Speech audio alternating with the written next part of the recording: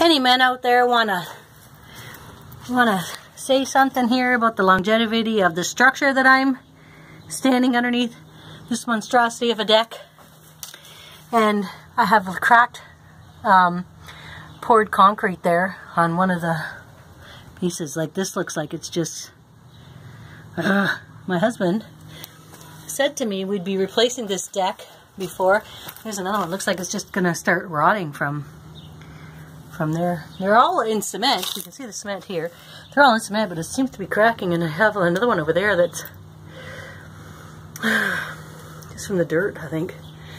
And uh, yeah looks like the ones at the far end the two there over there. Yeah everywhere where there's water touching it just seems to be um, seems to be uh, looking like it's gonna rot these posts it's a lot of water it's probably about 20 years maybe not 20 years um maybe about 18 years ago we built this deck good sized deck anyway he said by the time the kids were in university we'd have to replace it so and now I'm left on my own to try to figure it out. But if there's anybody out there that can leave a comment and let me know what I'm looking at here, because uh, we stand on this deck in the summer. I don't spend a lot of time out here, but we, you know, it's like a gazebo in the middle, and the stairs wrap around, and then the, the deck's up on the top. But anyway, I don't know what I should be looking at. I got do I wait for it to start rocking?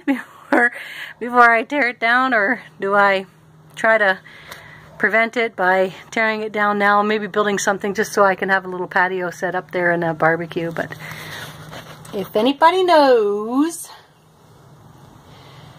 oh I just noticed that didn't even notice that this was like this here didn't notice there was I know there's electrical there but I didn't realize that that little box was there I never saw it before probably because the ladder I just took down was hanging on these posts here and uh, nothing wrong with the ladder. Aluminum though. Anyway, if anybody can leave a comment, I would greatly appreciate it. Thank you.